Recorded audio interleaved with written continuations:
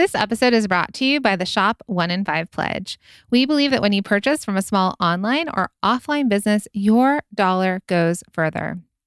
Hey, friends, Minna and I created the Shop One in Five Pledge, and we're inviting you to take it with us. It's a commitment to make one in five of your purchases from a small business, online or offline. It's a way to make an impact together where and when it matters most. Because the truth is, your purchasing power matters now more than ever. Head to shop1in5.com to take the pledge. Make that commitment to shop one in five of your purchases towards a small business. We also invite you to shop the directory if you don't know where to find other small businesses. It's right there on the page. And we're asking for you to share the pledge. Imagine if each of us told three to four people about the Shop One in Five pledge. It would be an incredible and life changing for so many small businesses. Tell your friends, your family, and your social network. It costs nothing extra and makes a world of difference. Our purchases have the ability to change lives. Okay, let's jump in. Welcome to the Product Boss Podcast, where we help product based businesses grow their sales and improve their strategies. Hey everyone, I want to introduce you to my co host and biz bestie, Minna Khounlo-Sithep, an Amazon guru that has built a multi six figure product based business. And introducing the other half of the product boss, Jacqueline Snyder. She has helped launch and grow over 500 fashion apparel and accessory brands, even one of her own. And together, we share our inventory of secret weapons that will help you dig deep and do the work it takes. Are you ready? Let's build together. Hey, product bosses. Did you know that every Wednesday we have a live talk show called Bosses and Breakfast where we chat business, mindset, mom life, and everything in between. It's a really fun time and it feels like a conversation amongst friends. In fact, sometimes we have conversations that we don't necessarily know that they're going to lead to where they lead, but we get such an amazing reaction from our listeners and from our community and from our students that we actually wanted to bring it to you to hear today. Yes, our favorite thing about Bosses and Breakfast is that we get to get together, we get to laugh, we get to be inspired, about what's happening and we get to check in with you and remotivate you on why you're working so hard. So join us next time. We'd love to see you there. And here's that snippet from one of our shows that got tons of positive response where we all walked away feeling more inspired and motivated for the week. So let's jump in. Today, mm-hmm. we want to talk to you about entrepreneurial math, right? So, adding mm-hmm. versus multiplying revenue. So, right. we were inspired by an excerpt from a book that Minna's reading, and she's going to read that to all of you. And then, what we want to do is we want to kind of like take this concept and switch it around for all of you to think about your businesses. So, yeah. I think uh, we were talking, we were super inspired by it, and we wanted to share it with you as well. Yeah, it really lit a fire under me reading it because it really re inspired how I thought about things. And it kind of confirmed for me why I think about money and uh, numbers in this way. And I was like, oh, that's why, because this is the way of the entrepreneurs. So I'm reading Miracle Morning, but it's the millionaires version. It's by Hal Elrod. Um, actually, it's by a different guy, Dave, David Osborne, and co-written by Hal Elrod. He, this is huge. He also has a documentary on Netflix. I've always been a big believer in Miracle Morning and always been the struggle bus of implementing it. Like struggle bus, but I respect it a lot. I think that once you get control of your mornings, you do really, um, you know, get back a lot of your time. So Miracle Morning is a book that's crazy popular and it's by Hal Elrod. He does different versions. There's parent ones, ones for children, ones for entrepreneurs. This one is for millionaires. So I'm reading this one currently because my whole life is like always going back to this. I feel like every time school starts. So I read this and I was like, oh my gosh, this is so true. So I wanted to read this to you. So the name um, of the um, book, um, Christine, is Miracle Morning, but this one is actually Miracle Morning Millionaires. Uh, millionaires have resources too. They have time, money, energy, and assets, just like everyone else, but they see things differently. The non-wealthy think, if I can keep adding to my savings account, maybe I'll increase my wealth. If I just add more hours to my day, maybe I can get more done. And if I put in more time at work, maybe I can earn more. all these things are all true, but only to a limited extent. Where most people see the world as additive, you put more in, you get a proportionate amount out. The wealthy see, and the entrepreneurs will say, see the world differently. They know that addition, adding more time to a day or more money to an account is just that it's adding. Millionaires don't like adding. They like multiplying. They like leverage. They want their investments of time, energy, money, and other assets to increase exponentially and not in a straight line. So, really good, right? So, it's just a different way that people think when they are entrepreneurs because entrepreneurs have this need for freedom. They have this need to make money. They have this need to make something from scratch and make it into something bigger. And oftentimes that cannot happen in a straight line. And it happens not by the old way of thinking. Add this, do more of this, add this, save this, put into account, work more hours, get promotions. It doesn't work that way. It mm-hmm. works by multiplying and leveraging the time, money, and energy you're putting in. So okay. we wanted to flip this around a little bit. And that's why we were saying entrepreneurial math, adding versus multiplying your revenue. And we wanted to just talk about that a little bit and, f- and take this idea and flip it around and kind of apply it to you as product based businesses, right? So, how many people resonated with what Minna just read? You could leave it in the comments. You know, that idea of if only I had more time, if only I added to my savings, right? That energy part where you're thinking, if only I did this versus the idea of multiplication. Mm-hmm. So let's start with the first idea of adding to my savings. If only I could add more to my savings, I'd be wealthier. I think that this is a little bit of the same idea of your businesses, right? If only I added more products to my business, I could sell more. If mm-hmm. only I added more customers to this one sales channel, I could sell more. So it's the idea of like, let's say you're selling on Etsy, you're selling on your website, right? And you're thinking, okay, or you're selling through Instagram, you're like, I need you know, 100 more followers and I can sell more. I mm-hmm. need, mm-hmm. you know, three more sales off of my website and I'll make more money. I need more products. And if I have more products, I'm going to sell more. Now, I want to flip that idea for all of you and think about this in the way of, of okay, so yes, you can add more customers, but it's slower, right? It takes more energy, it takes more effort to get people to your one sales platform, which is why, for example, in Multi Stream Machine, we, te- we teach more platforms for more profit. Because think about this, and we have tons and tons of case studies like this. You have one sales channel, you know what your best seller is, you know what you're focusing on. Okay. And then you're like, okay, I'm selling it here. So I'm just going to go all the way back to a few years ago because uh, uh, it's always in my head. Sarah of Heartland Lettering. She was doing about $2,000 a month on Etsy selling tumblers and, and customized products. Now, what she did is she didn't try and add more. To, well, she did before she started working with us, but she didn't try and add more to Etsy to try and sell more, right? Because the customer. But she did have a lot of product listings. Etsy, their way is more is more. Like the, is, right. you know, you put multiple listings everywhere. You have one listing and it has 50 different versions, you know, that sort of thing. So they really push more is more, you know. But the idea there is like, okay, that's what they're pushing. So, but she was making two grand. When she when she went through a multi-stream machine, for example, and she went through figuring out what her best seller is, she was able to take that product and multiply her revenue versus just add. So she then started making, she added, let's call it Amazon as a sales channel. And then she literally multiplied, she doubled her revenue. It wasn't like I'm going to add another $500. It was now making 2000 on one platform and 2000 on another platform. So it wasn't like I need to add a few more orders. 2x. She 2x, yeah, two times. Mm-hmm. Thank you. That's the multiplying. I think, Lauren, can you confirm? Just kidding two plus two equals now.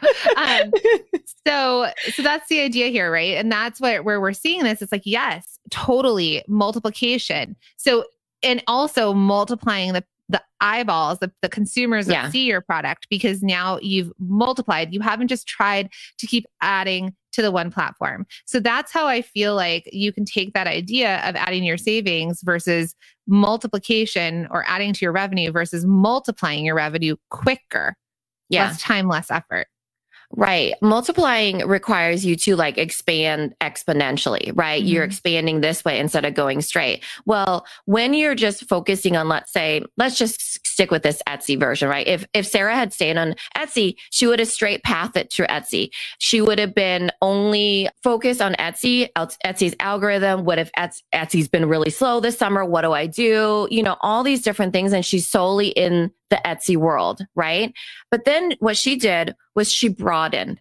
She broadened and diversified by multiplying an, into another revenue stream. So now she's on Amazon. Guess what happened? She got more eyeballs, more traffic. She didn't add on more products. It really was about the eyes and the traffic, right? Mm-hmm. The, the new customers. So it really was about multiplying the possibilities, the opportunities that happen instead of being in a straight line. It's just being more, you know, broadening it out for her.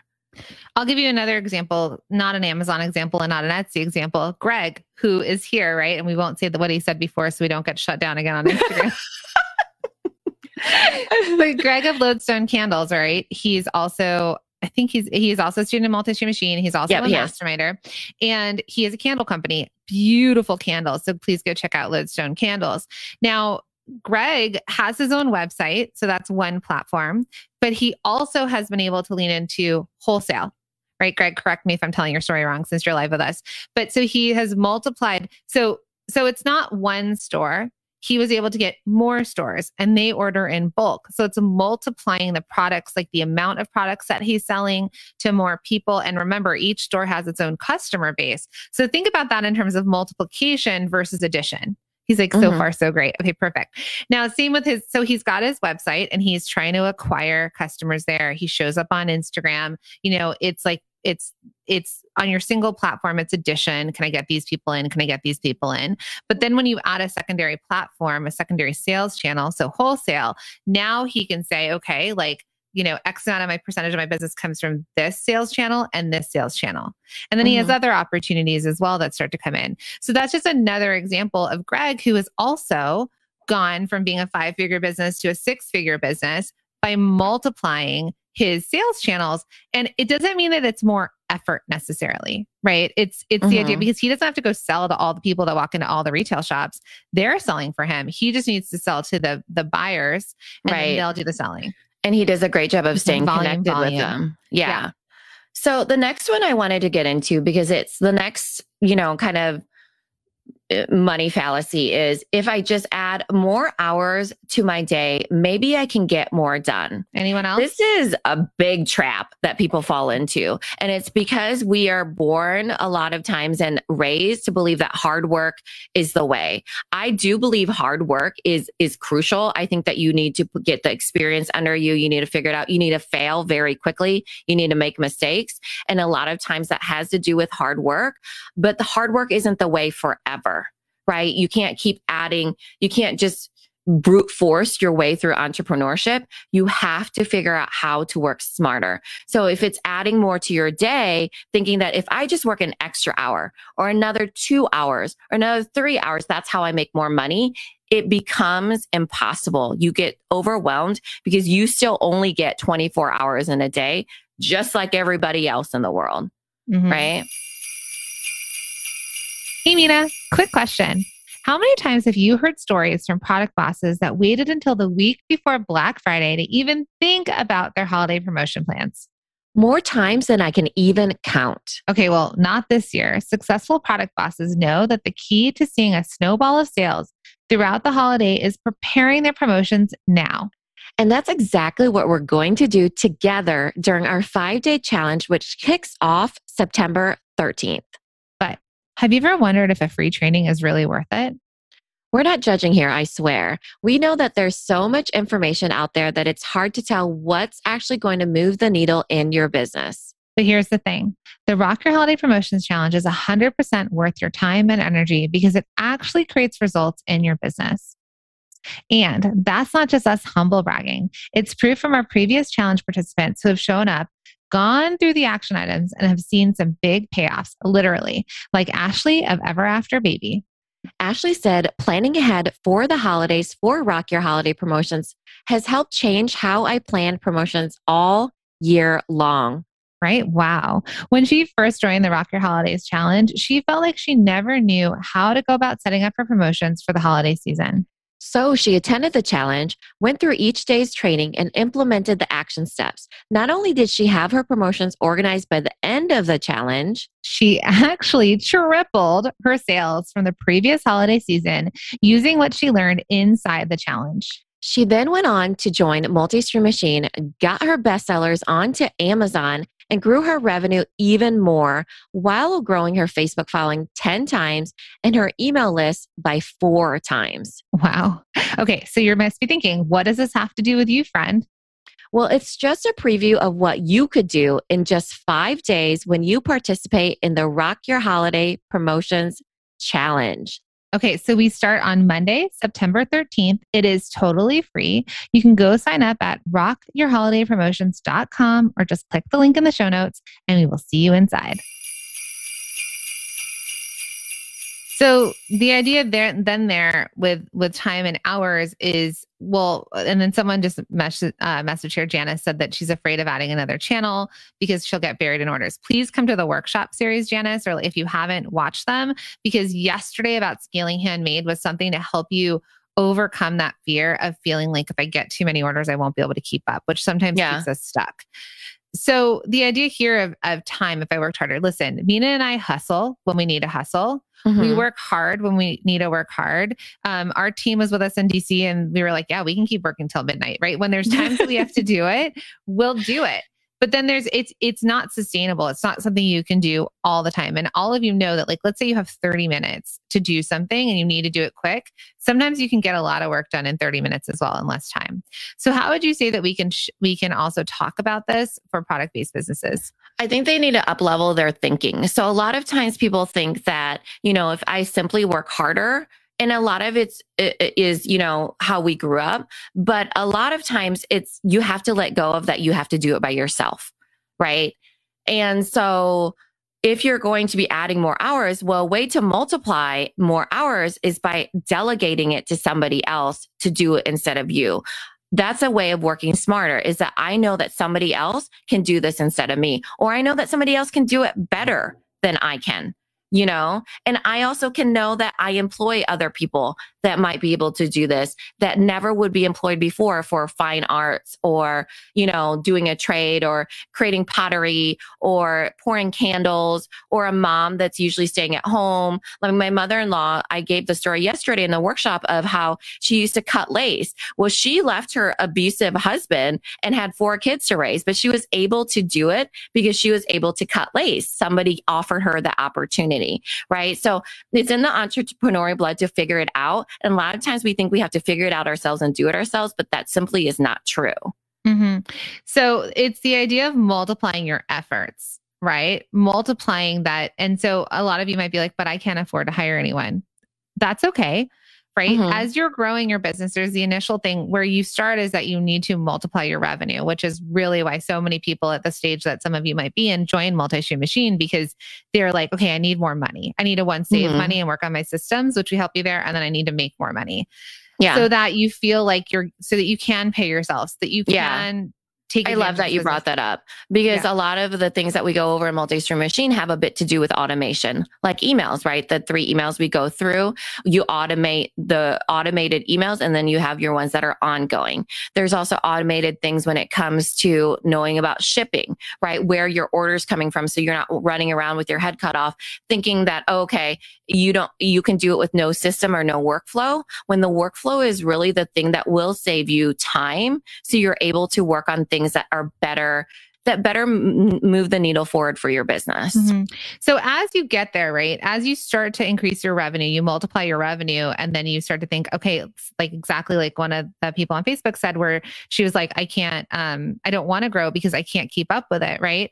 When you get to that tipping point, that's usually where you hire. And we talk about this a lot of our multi-stream machine students are live with us right now. A lot of our masterminders are live with us, but they're talking about, yeah, when I hired a team member, we usually say that you would hire either someone to help you with production or someone to help you with shipping. Those are two things that are repeatable processes that you can teach. And now listen, come to the workshop, wa- workshops, watch the replay on the scaling your handmade or product based business because that's we really dig into this. Mhm. So that's and, and and sometimes you don't even hire on you outsource Mhm. right so it could be a um, for example um, dome doc we gave the example of them they outsource their production so they're not doing in-house but they did have a warehouse where they do their own shipping other people outsource their shipping for example um, jana of synthesia tarot she um, outsources her shipping to a, a fulfillment company yeah her um, tarot cards and so that really has alleviated some of her time too. So when you get to that tipping point, it doesn't always mean you have to hire a team member.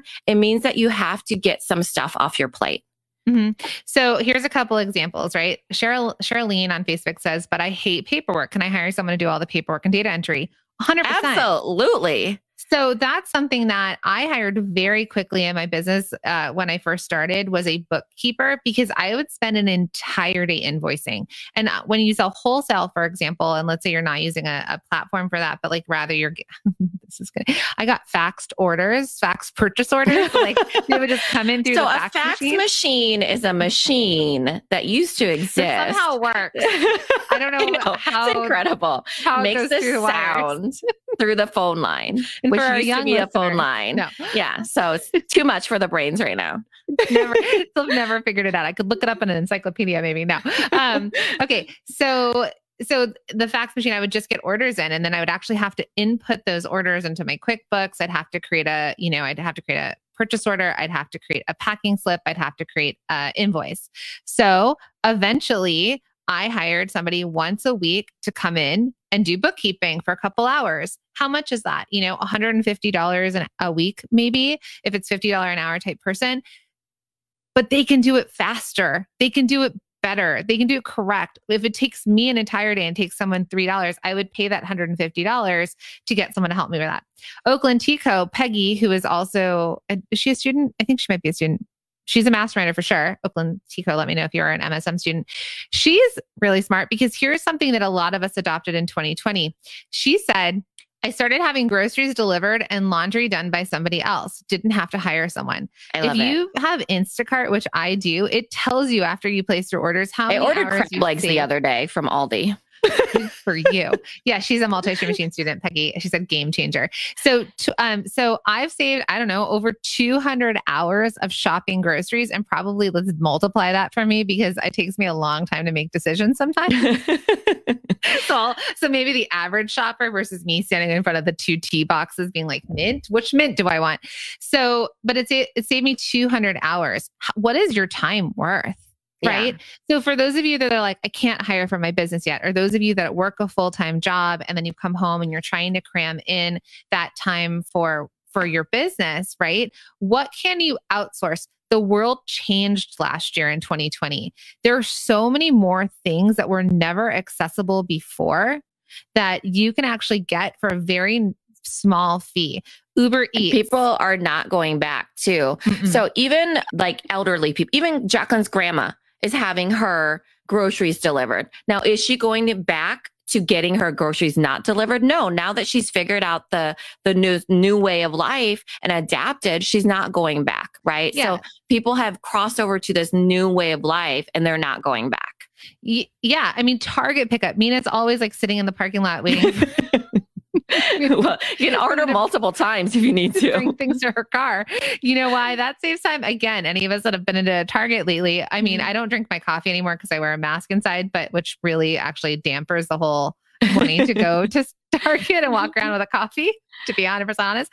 But think about that. Think about how much time you then get sucked in. Maybe you went in for groceries or maybe Mhm. you went in to pick up school supplies. Then all of a sudden you're like, well, I got to walk all the aisles. I got to add everything. So Yeah. so if you if all of you are trying to think about how do I have more time, we said that quote like even Beyonce only has you know the same 24 hours, hours. yeah, Yeah. in a day.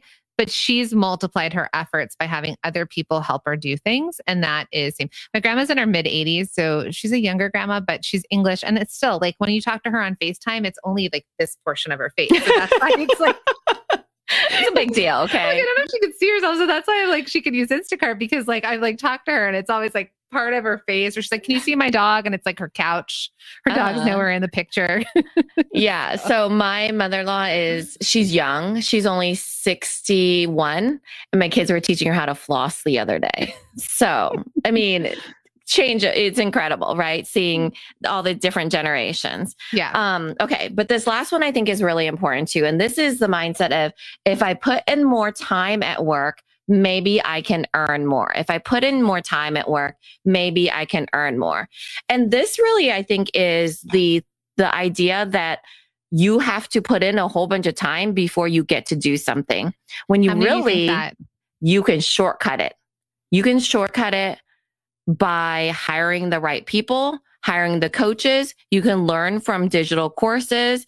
We were just talking about the fax machine, right? I mean, technology has changed. Kids don't even know what that is anymore. So- know what a dial tone is. They won't, they don't, right? So they don't even. We were just talking about the dot matrix printer the other day. Another blast from the past. We were telling our team members it used to fold into itself when it would be like. Remember the paper you know? that had the holes on the sides for those of you that are our age and above? so we're the where it's like we're invented? analog growing up, but digital now. So lots of things have changed. You can shortcut a lot of things and access has changed. So I want to read another um, excerpt that I think is really, really important, especially for entrepreneurs, because we go through this in our, um, our day five of Rock Your Holiday Promotions. And we always say that our, the entrepreneurs we know are voracious learners, voracious learners. And it's something that I really pride myself on is the constant learning. So Here's the excerpt. Learning is the master multiplier. Everything you learn, you get to apply over and over again. It's like having a single dollar and getting to spend it time and time again. Learning is the golden goose of life. And as long as you nurture it, it will continue to pay dividends. So I want you to remember that you get to pay for self education. You get to pay to shortcut your way to whoever. Our masterminders are paying to work with us so we can shortcut their decision making when it comes to making really big decisions in their business. And I need you to all think about that, that it's not about the time that you put in that makes you earn more. It's about how can you, as an entrepreneur, shortcut that for yourself so you can get further, faster, and with a bunch of people that you're having fun with. Mhm. Does that resonate for all of you?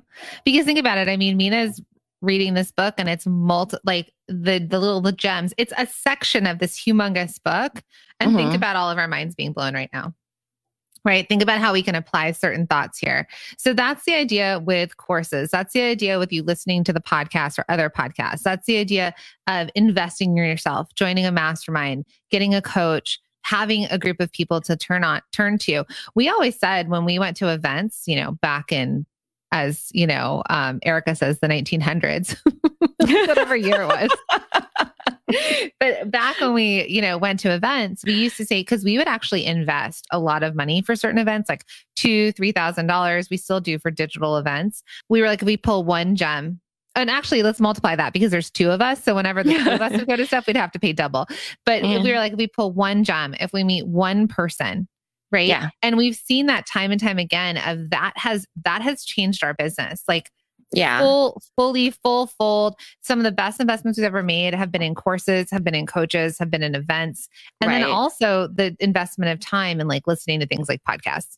Right. Because you can only, you're adding to yourself. You're only adding to yourself one person when you're learning just in a bubble. You only have exposure to yourself, the things that you know. You're limited by, you know what you know and you don't know what you don't know. But when you shortcut your way with experts, courses, access to education, you're learning, you take advantage of free workshops and free challenges, you exponentially multiply what you know and what you can apply because you've done it through other people and what they've learned. So think about that, right? That's why people get wealthier. That's why people get um, smarter. That's why people become happier is because they've exponentially grown what they know about themselves and what they know about the world and how they their perception of that is how they apply it in in real life. So how's that? Does that resonate with all of you? Do you feel that? I, I love that. Um, someone on Instagram said, "Love it." Starting the grocery now. We don't have to. We don't have delivery, but they have pickup here, right? And they're going to try that. So even think about that. That's just saved her two, two hours, you know, like maybe there's the drive time, but I don't know. Again, two hours is me in a grocery store. So let's say 45 minutes an hour for an average human. I don't know. But that's the idea. Where can you save that time? Where can you multiply your efforts? Where can you invest? It's not the adding to your bank account in like the small dollars. We want you to get into this millionaire mindset of multiplication versus addition. Well, friends, I hope you had as much fun as we did. If you want to hang out with us live, join us every Wednesday at 11 a.m. Eastern over at our Facebook page or Instagram. And if you want to hear the whole show, click on the link in our show notes and we'll see you over there. Thank you for being here and listening all the way through the Product Boss podcast. If you love our show and it has helped you in any way in your business, would you mind doing two things for us? Subscribe to the show so you never miss an episode and leave us a review. Reviews help other product entrepreneurs know that this is the place to be to grow their businesses and realize that they're not alone. And we know that you all know that a five star and honest review helps you sell more products to more people. So you know that your reviews help us reach more listeners around the world. Remember, what we give is what we receive, and we are all about helping each other in the Product Boss community. We are all in this together. We would be so appreciative of you if you could take the time right now to subscribe, leave a review, and even share this episode on social or someone you know so we can impact more lives. And remember, subscribing means that you will get notified each time we release a new episode so you never miss a thing. You have helped us grow and climb into the top 10 of all marketing podcasts, and together we can keep climbing. Thank you, friends. And remember, there is room at the top for all of us. This episode is brought to you by the Shop One in Five Pledge. We believe that when you purchase from a small online or offline business, your dollar goes further. Hey, friends, Minna and I created the Shop One in Five Pledge, and we're inviting you to take the pledge with us. It's a commitment to make one in five of your purchases from a small business, online or offline. It's a way to make an impact together where and when it matters most. Because the truth is, your purchasing power matters now more than ever. We're inviting you to take the pledge if you head to shop one in five Com. The link is in the show notes. And when you get there, please make sure to share the pledge with your friends, your family, and your customers. Let's invite everyone to take the Shop One in Five pledge so that we can all use our purchasing power to change lives.